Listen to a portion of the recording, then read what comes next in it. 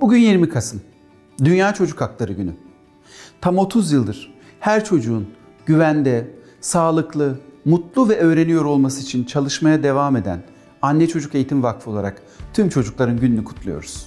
Bu vesileyle tüm çocuk haklarının önemini ve bu hakların hayata geçirilmesi için yapılması gerekenleri bir kez daha hatırlatmak istiyoruz. 1989 yılında Türkiye'nin de dahil olduğu tam 196 ülke tarafından imzalanan çocuk haklarına dair sözleşme en fazla sayıda ülkenin onayladığı insan hakları bildirgesi olma niteliğine sahiptir.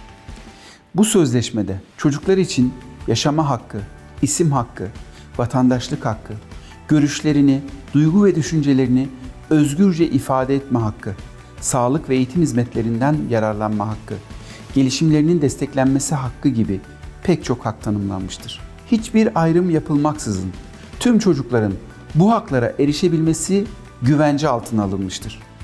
Dünya genelinde giderek artan eşitsizlikler, ekonomik krizler, yoksulluk, çatışmalar ve afetler çocukların temel haklarına erişimlerini ve iyilik hallerini olumsuz etkiliyor.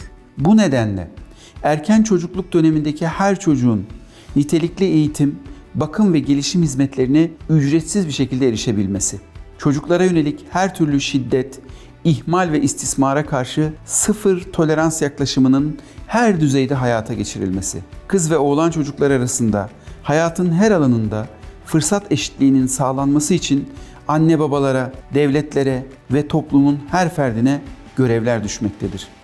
İlgili tüm taraflarla işbirliği içinde bütüncül politikaların geliştirilmesi ve uygulanmasının önemini bir kez daha hatırlatmak isteriz. Anne Çocuk Eğitim Vakfı olarak her çocuğun eşit fırsatlarla hayata başladığı, temel hak ve hürriyetlerden mahrum kalmadığı, güvende ve mutlu hissettiği, sağlıklı bir şekilde geliştiği bir dünya diliyoruz.